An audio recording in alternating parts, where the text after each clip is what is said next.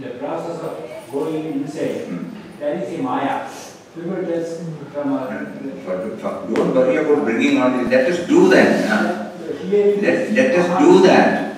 These are our mind is bringing out so many things. Let us not bother. Let us close our eyes and try to go within in our own way. One step, two step, three steps. We may fail, we may forget. Everything we have learned only by perseverance. When we were children, we were finding it difficult to get up. How many times we tried? When we wanted to write, uh, when we learned the alphabets, we did not know how to write. How many times we committed mistake? When we, whatever we have learned today, it is only because of repetitive performance, perseverance, patience, commitments. Same thing has to be applied in spiritual matters also. Unlike uh, uh, the other worldly things, we just hear only, you know, we don't do. So here what is needed is repetitive performance. When, when, and how do we get uh, convinced about it? We look at the life, life biographical sketch of our masters. In Papa's case, from 1920 onwards, 22, for the two years, 22 hours out of 24 hours he was doing intense seva.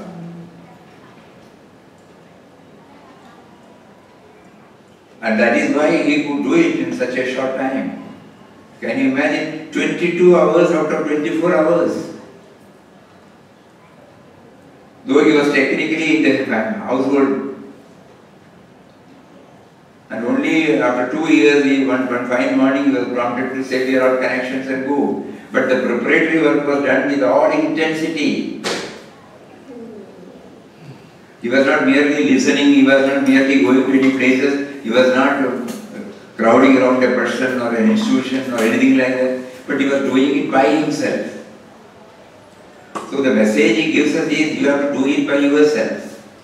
Nobody can help. It has to be done by you with a prayer to God, then when God steps out and then takes you and then guides you. This is what he says. This is what the life he placed before us. And that is why we are all here in this ashram. And the same thing was done by Mataji also in such a short time, two years. Intense means intense. Nothing else mattered for us. So it all shows that uh, where we, in our case, in all other matters, we become successful only because we apply our whole, whole the mind into it. Perseveringly we do it, persistently we do it, repeatedly we do it, correct ourselves, observe ourselves, watch ourselves, and then we refine ourselves, and finally we succeed. The same thing has to be followed here. So this is what is expected of us by our Guru. Not that we don't want, but still the baggage is not permitting us. So we are now crying, pleading, appealing to the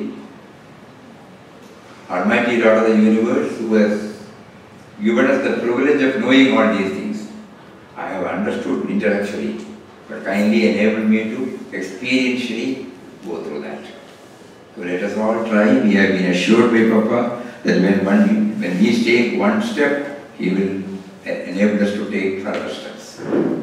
Om Shri Ram Jai Ram Jai Ram. Om Shri Ram Jai Ram जय जय रामो श्रीराम जय राम जय जय राम।